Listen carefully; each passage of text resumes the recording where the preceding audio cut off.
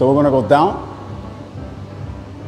go down underneath, make sure the arm is free, and then go back up.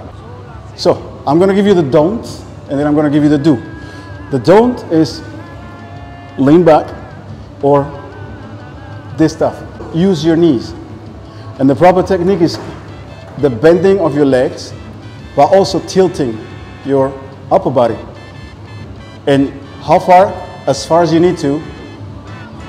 Go down underneath, in this case, her left arm. So once I'm here, you see? Now I'm gonna go and go down underneath. And last but not least, I have to make sure that this arm here is free. Then I go back up. Okay, let me show you from the other side. So you go down first, go down underneath, make sure this arm is free, then go up.